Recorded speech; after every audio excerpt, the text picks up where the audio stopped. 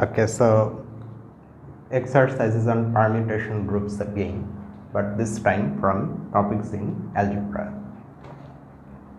Now here uh, there are three parts of course.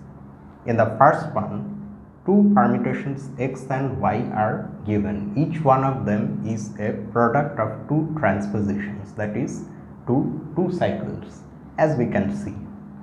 Now we have to find a permutation A such that A inverse x A equals y and then in part B uh, a similar uh, equation is given but we have to prove that this equation is not solvable for any permutation A. In other words, there is no permutation A such that A inverse times this 3 cycle times A is equal to this permutation. And exactly like that we have this one also. Here also no such a exists for which this equation is true. So let us see the solution. The solution will not be a satisfactory one in a particular sense let me just uh, write the thing down and then I will say why.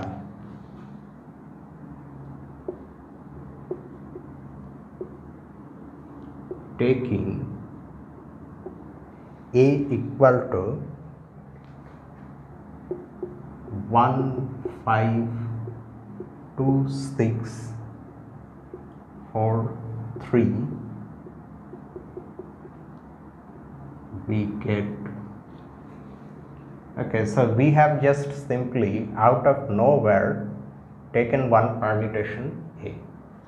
And now what we are going to do for this particular a we are going to see whether this is true or not. So let us just calculate a inverse x a. Now we already know how to write the inverse of a cycle. We just take the opposite order. I mean the original order in which the symbols are appearing in the cycle we just change the order. We take the opposite one. And that gives us the inverse of the cycle. 3 4 6 2 5 1 times x x is 1 comma 2 times 3 comma 4 times a. So we continue from here. 1 5 2 6 4 3 okay.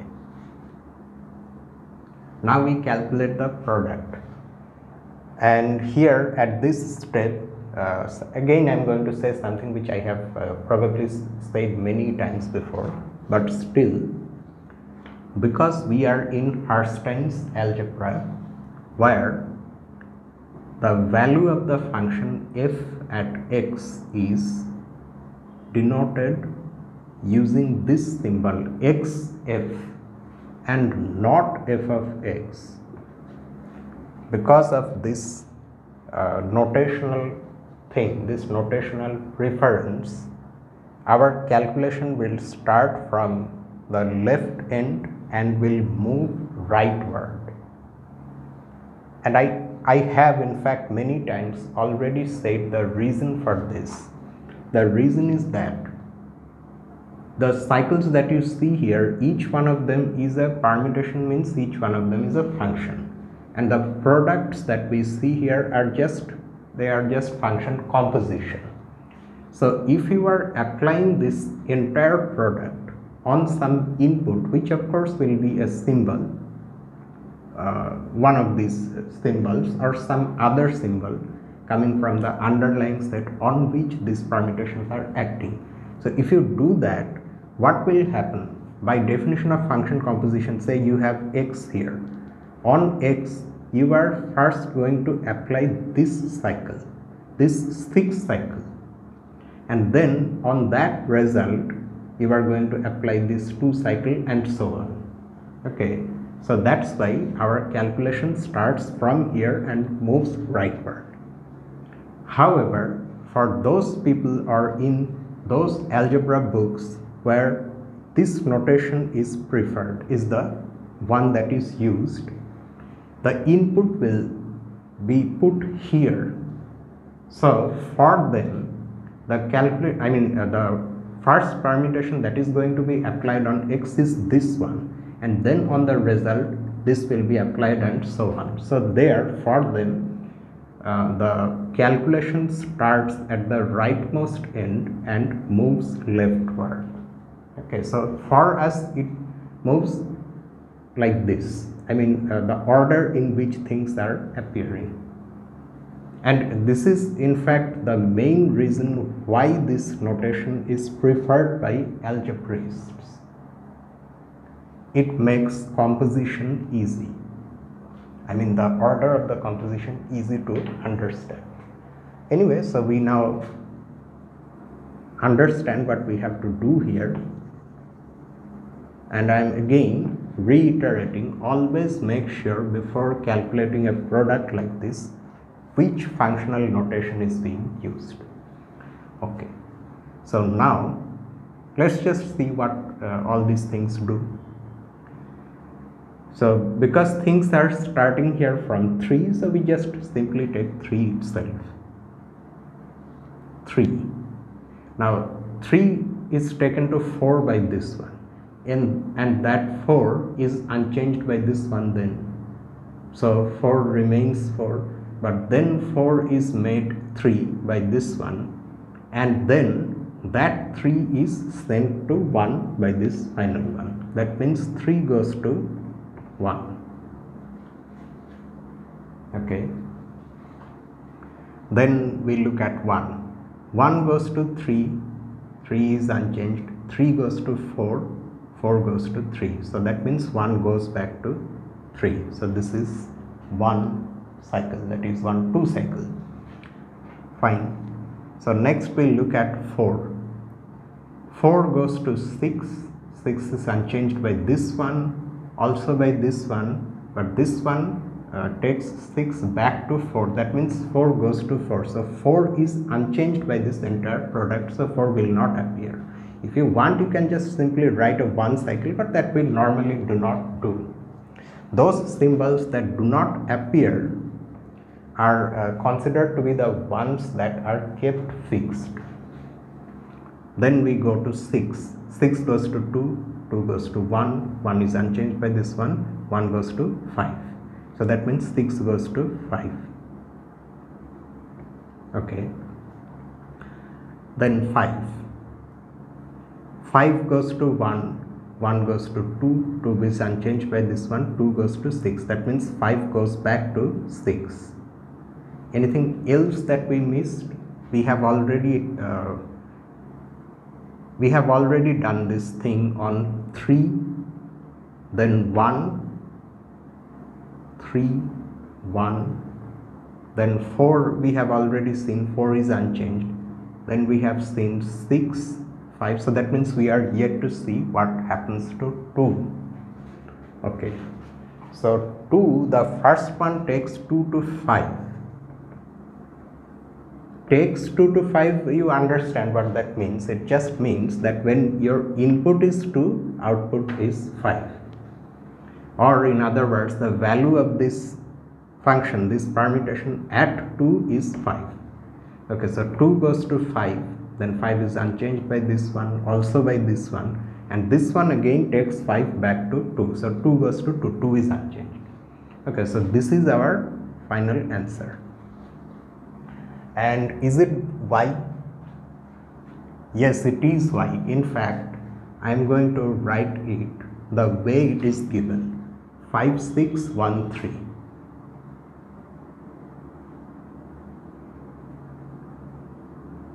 but I need to justify this step also.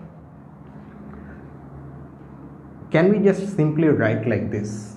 Not always. You see, there are uh, two things happening here. You can see that this symbol and this symbol, they have been in fact changed. each one of them has been changed in place of 6 comma 5 we have written 5 comma 6 so that means we have changed the order we have taken the opposite order. So what we have written here is not actually this itself but um, well it will be this itself but that comes afterwards. So in this order actually this is the inverse of this transposition. But it's a two cycle and we know that the inverse of a two cycle is the two cycle itself. So that is why in place of 6 comma 5 we can just write 5 comma 6 and you can i mean eh, instead of uh, bringing in inverses and all those things you just see whether these functions are equal or not. This function has output 5 when the input is 6 here also that is the case. The output is 5 when input is 6 the output is 6 when the input is 5 and that is also the case here. So actually they are equal and similarly 3 comma 1 is equal to 1 comma 3 and we seem to have changed the order of their appearance also which we can do because these are disjoint cycles and hence they collimate so that's why this is in fact equal to y. But a big question is still there. Fine, we have got one A, but the question is how did we figure out this A in the first place? That's the question. How do I know that this A would work? Is it just simply trial and error?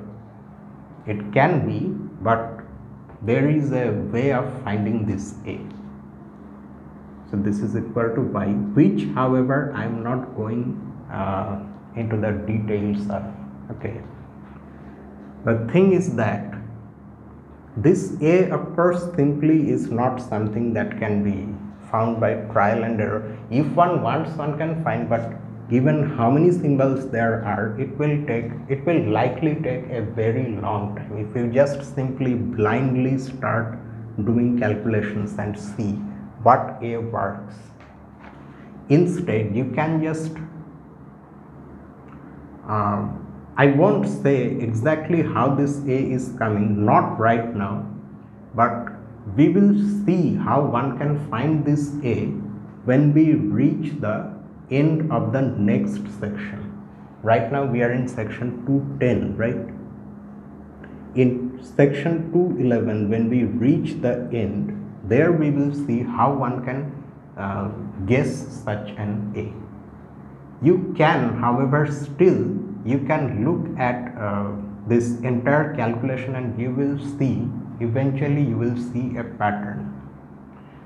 Do you see one thing that x that is this thing and y that is this thing they have the same cycle structure. That means both of them are products of two two cycles so you can see that we have uh, a sort of correspondence here 1 goes to 5, 1 is going to 5, 2 is going to 6, 2 is going to 6, 3 is going to 1, 3 is going to 1, 4 is going to 3, 4 is going to 3. Okay, so that kind of correspondence is there and in fact that itself allows us to guess what this A will be. But I'm, I'm not going to say anything more than this. Okay so we will see this at the end of section 211 for now we just simply uh, consider it as a trial and error thing. That we have found one A which works and that's just it that also does not tell us that this A is unique or anything. We have been asked to just find one permutation A. We have done that and the job is over. However, that cannot be done for the for these next two parts. The fact that the cycle structures of x and y are the same plays a role here, plays a role in the existence of such an A. If the cycle structures are different, for example, uh, that's what we have here. Here, uh, the in place of x we have this 3 cycle whereas on the right side we have a pro product of a 2 cycle and a 3 cycle. They are different structures cycle structures. So in this case actually no such a will exist. However we are not able to if you want you can of course prove it by some other means. But when we will see at the end of section 211 how exactly one uh, finds out this A from the sameness of the cycle structure and how if you have two different cycle structures such an A cannot be found and actually no A cannot be found unless we see that we won't be able to uh, answer this satisfactorily. So for parts B and C what I am going to do I am just simply going to use that advanced knowledge that is whatever we are going to encounter at the end of the next section. I will just simply mention that and we will have to wait for uh, that time when we see these things. Okay so let me just write in place of part b this. Spins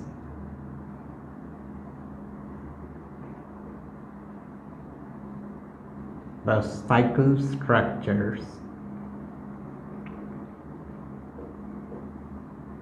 And this term cycle structure itself also is uh, probably something that we have not yet defined formally. Cycle structure is the the pattern in which you have the disjoint cycles in a permutation. Okay that thing. For example here you see that this is a product of two disjoint cycles. One of them is 2 is a 2 cycle and the other one is a 3 cycle. So its cycle structure is 2 comma 3 something like that is there. But right now we understand what a cycle structure is and we are just simply writing things in this manner that uh, we are uh, using some terminology and some concepts which have not yet come so we are just simply keeping it like that. Since the cycle structures of the permutations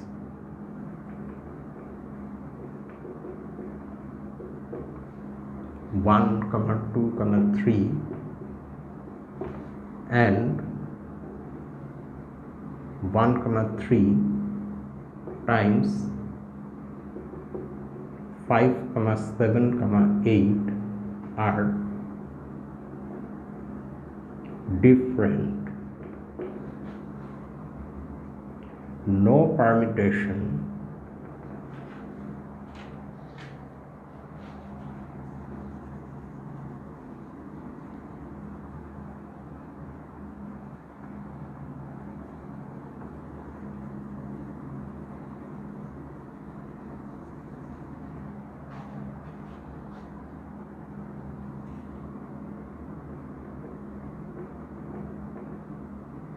A exists or we can like write like this for which.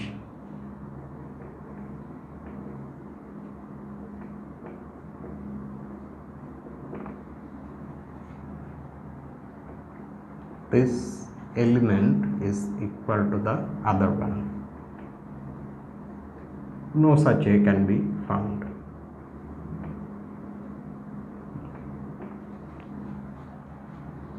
and C is also same. Oh, I need to mention where this thing is coming from.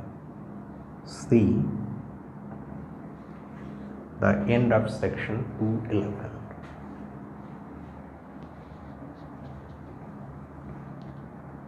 Here also you can, uh, before I wrap this up, I have already done a little bit.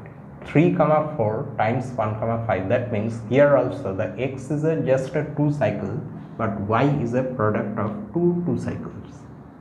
Disjoint two cycles. So they also have different cycle structures. So for them also no such a exists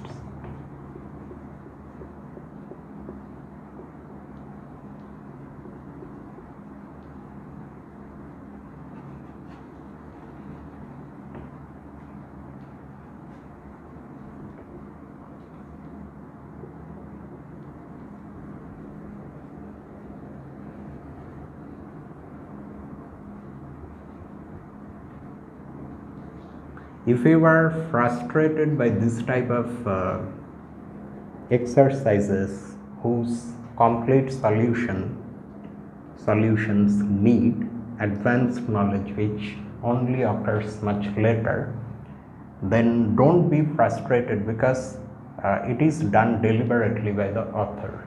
What Herstein wants us to do is he wants us to struggle with these things ourselves not not in an attempt to bring out the actual entire solution from us but rather uh, the aim is to bring out some original ideas that we may come across in an attempt to find something as if we ourselves are uh, trying to find it for the first time. So if we do that struggle even uh, a little bit you will see that it, it is very frustrating. You keep keep on thinking about these things. Nothing comes to your mind. But eventually you will see that uh, you come up with something some sort of understanding. Suddenly something clicks. Suddenly there is an aha moment. Okay. You suddenly realize okay so this way things may work so those moments are actually the ones that we strive for in mathematics. Those are few and far between, but they occur, and when they occur, it's really magical. So uh, he wants to give us that opportunity. Otherwise, what you see, you see, you of all the things that are already given to us, then it it is in a sense uh, it becomes boring and dull. We should uh, think for ourselves also sometimes. But anyway because I am doing it for the video so I will just simply write things prematurely. See the end of section 211 and for part C also it's the same C part B above.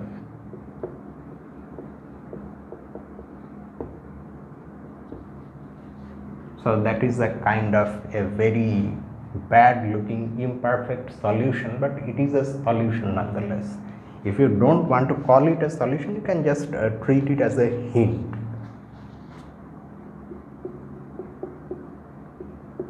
Next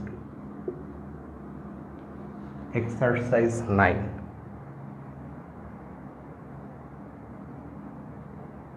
okay so in exercise 9 we are we will go uh, we will see something else. But before we leave this thing uh, a question may pop up in your mind. What is so special about this? Or let me just uh, extend it and make it an equation you have two elements x and y which are permutations. What is so special about the existence of an element a for which this equation is true? It seems like something just ad hoc. Ad hoc means it's just something it seems like something random. Okay. But it's not random. Actually this uh, equation can be used to give us a relation, a binary relation not on permutation groups but on any group. If you have a group in which you say you consider two elements x and y, then you can define a relation like this x is related to y if and only if there exists an element a in the group G for which this equation is true. Okay. And that relation it has a name. It's called conjugacy.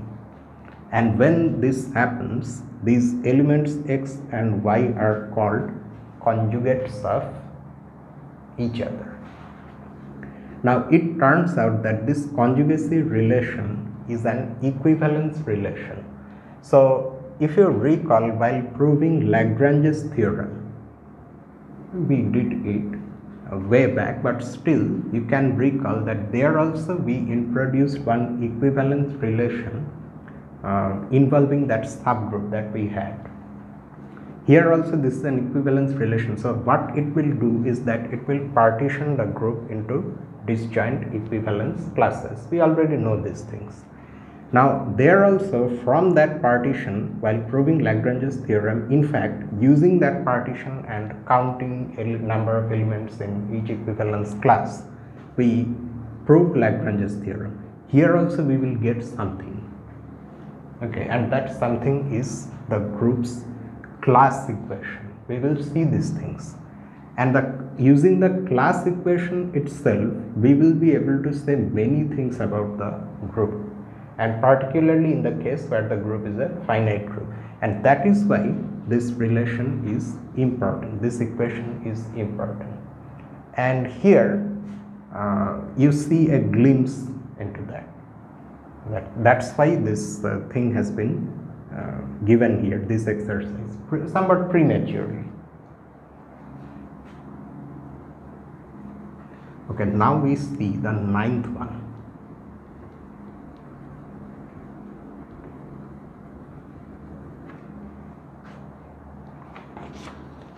The ninth one is not very difficult.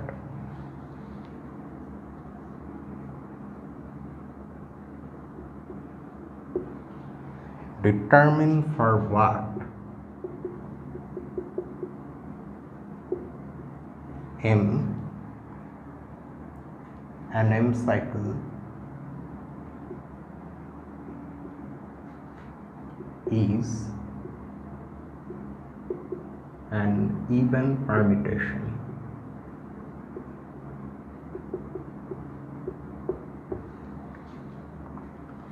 So we just straight away consider an M cycle. For an M cycle, an M cycle of course means a cycle having uh, M symbols. For an M cycle,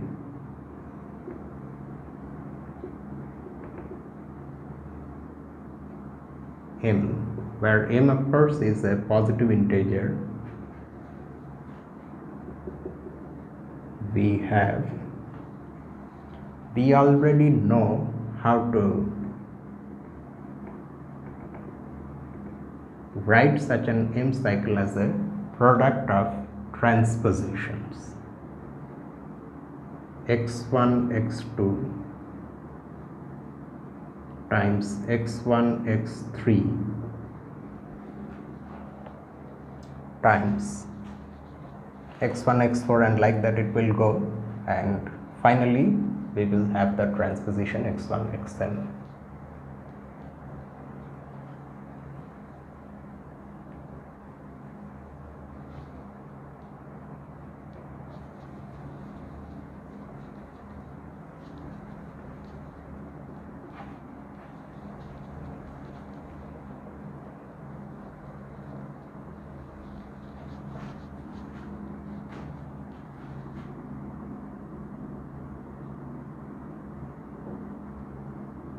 keep in mind again that because our uh, product works like that from uh, the left side to the right side the decomposition is like this. If it is the other way around then you may have to change these things.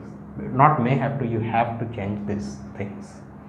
Okay so an m cycle can be written as a product of transpositions like this. Now how many transpositions are there in this clearly m minus 1 and we know by definition that a permutation is even if it can be expressed as a product of an even number of transpositions. So that means uh, in order for this cycle to be an even permutation, we want the number of transpositions here to be even and that is m minus 1. So m minus 1 is to be even means m has to be odd. Should I write those things? It's uh, we already know these things now, so I can write directly.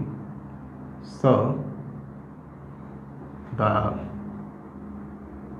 M cycle is an even permutation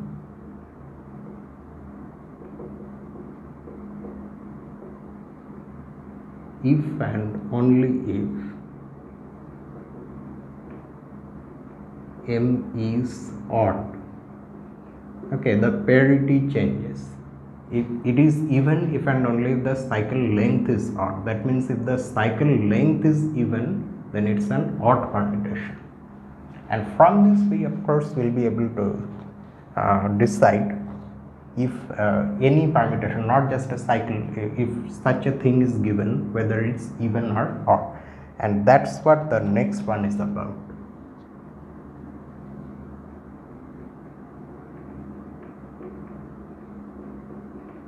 The tenth one.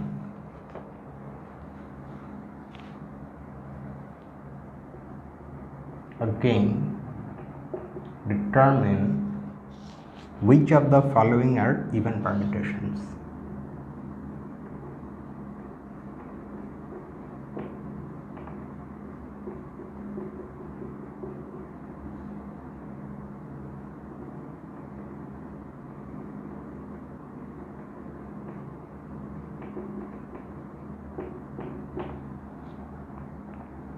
Three permutations are given. The first one is this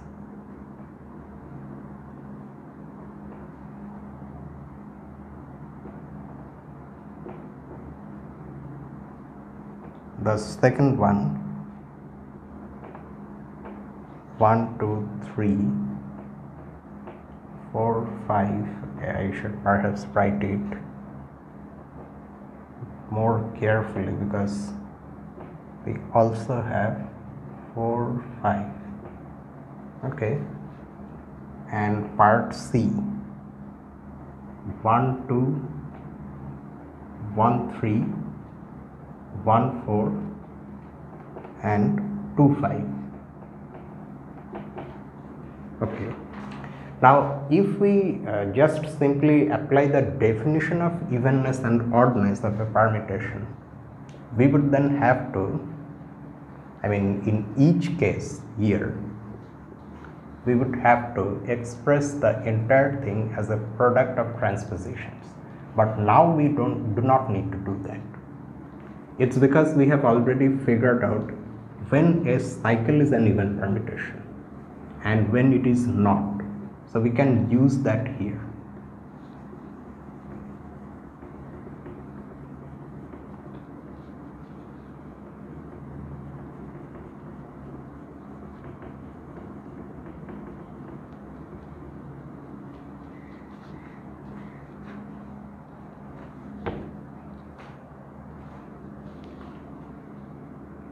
you can make the solution that now I am going to write more elaborate by writing the reasons.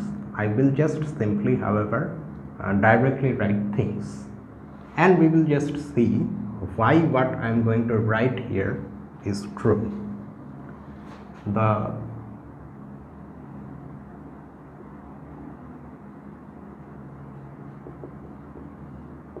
permutations in part A and part B.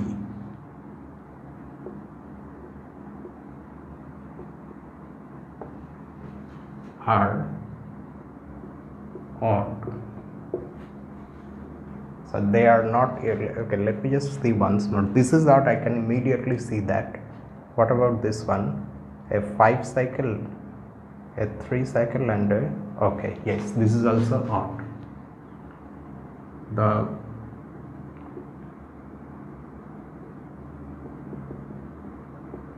permutation in part C is even. This one is even.